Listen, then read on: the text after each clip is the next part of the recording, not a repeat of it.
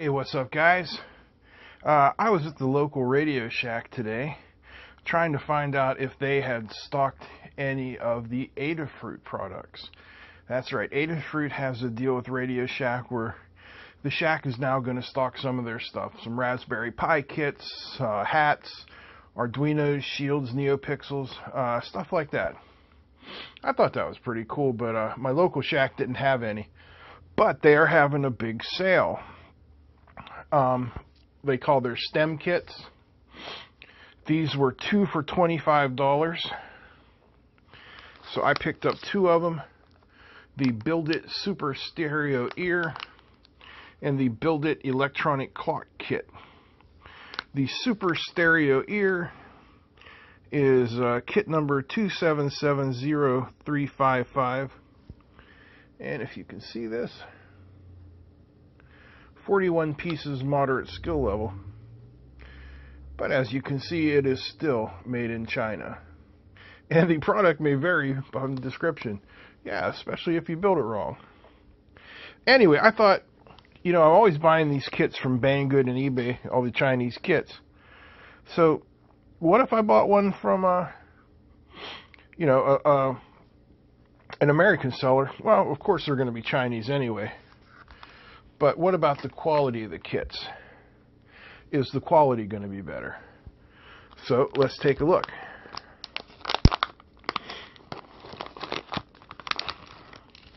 They are packaged in nice static resistant bags.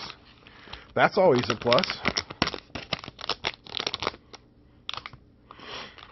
And all the individual components are packaged separately. This contains an NE532, that's a dual op amp, an IC socket, and two microphones. Some capacitors,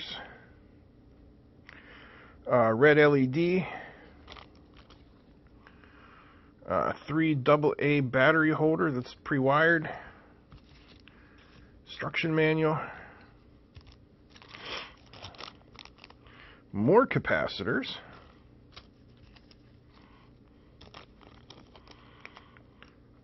Some screws. A pot, a switch, and a stereo jack.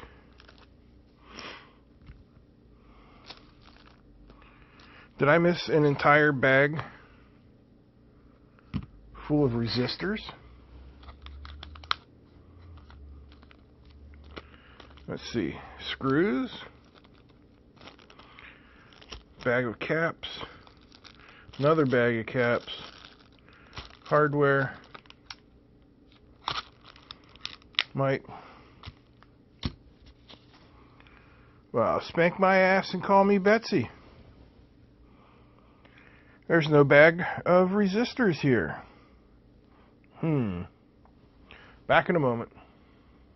It's more like two hours, not a moment. I ran back out to the shack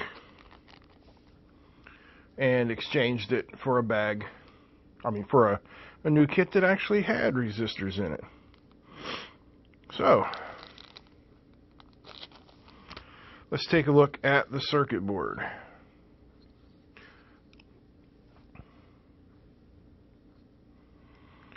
Very nice board with the white red silk screen.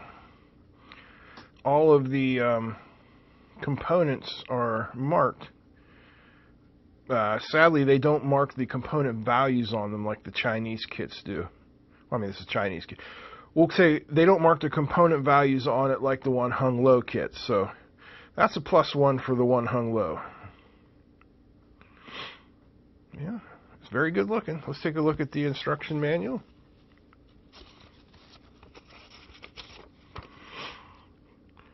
Blah, blah, blah, how to solder,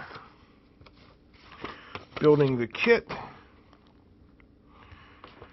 There's our, there's our real instructions right here. Resistor 1, resistor 9 or 10K, blah, blah, blah, blah, blah. This jack must be oriented correctly. Do not misorient your jack, or you ain't going to have jack. LEDs are polarized, toggle switch, IC stand. IC stand, that's an interesting way to put it. Electrolytic capacitors, potentiometers, microphones, how to determine the positive from the negative side. IC1, but see, sadly, there's no there's no information what IC1 is. If I didn't know that an NE532 was a dual op amp, I mean, I have no idea. Limited warranty. All right. Well, all right, here's my overall first impression. I like that everything is bag nice. So that's one point for the shack. We've already given one point to one hung low for marking component values on the board that would cut my or yeah, assembly soldering time more than in half. Price to one hung low. I don't know. Let's put it together and uh, see what happens. So this will be one of my super fast sped up soldering extravaganzas.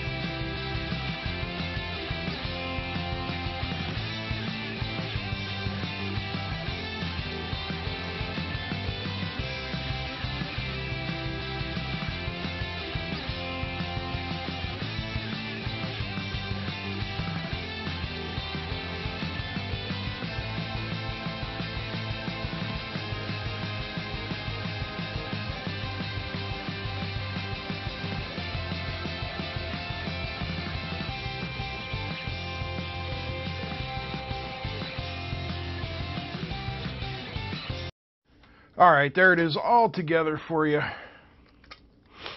It is a stereo, so we have two microphones. We have a pot to adjust our volume. There's our dual op amp, headphone jack, switch, and an LED. I got some batteries here.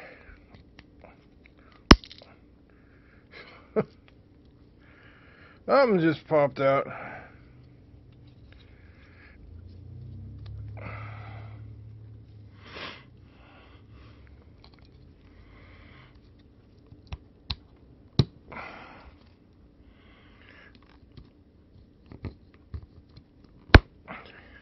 Hey, we have light, we have power, and switch works. Yes. All right. I will plug in some headphones and we'll see if it actually amplifies any sound.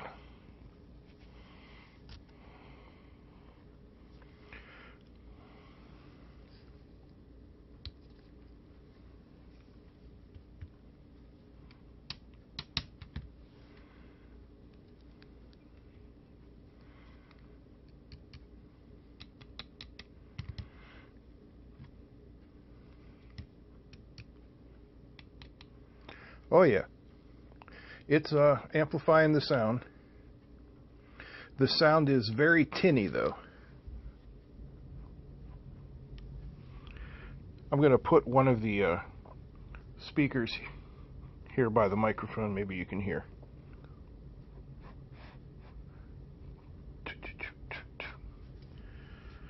All right, I'm going to turn this thing off.